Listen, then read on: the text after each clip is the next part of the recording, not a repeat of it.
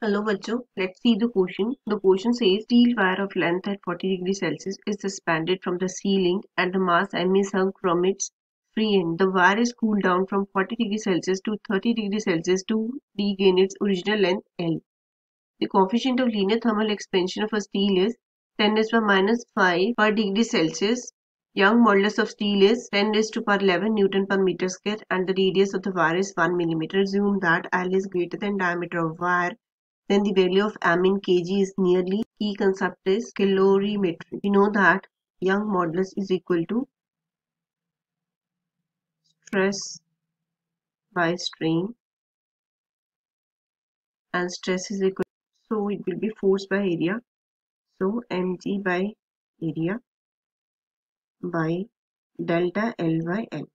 So Young modulus will be mg L by A delta L. Mark it as equation number 1. Now we will find change in length.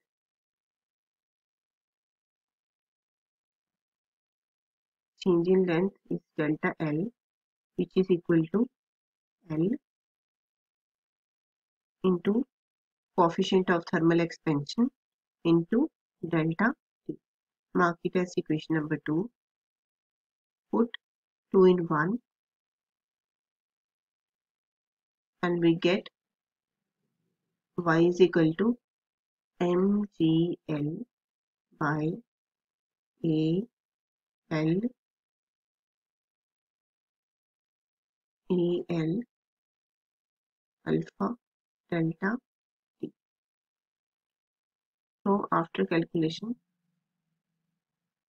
we got mg a alpha delta T.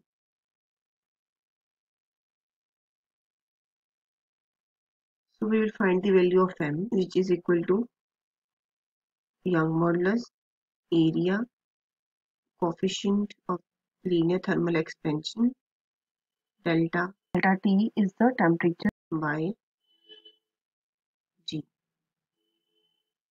So we, now we will put the values m is equal to 10 raised to power 11 into pi r square. Area is pi r square and r is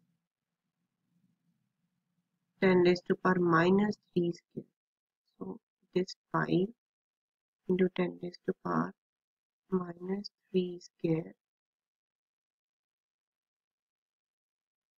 into 10 for simplicity actually the value of g is 9.8 approximately it is 10 so we'll put the value then after calculation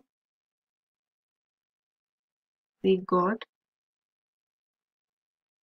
m is equal to pi approximately 3 kg. This is the O in this question. So in this question coefficient of linear thermal expansion temperature coefficient of thermal expansion, Young modulus, radius, all the values are given. So we put the values in m is equal to y a alpha delta t by g and we got that m is equal to 3 kg is the required answer. Hope you understood it well. Best of luck.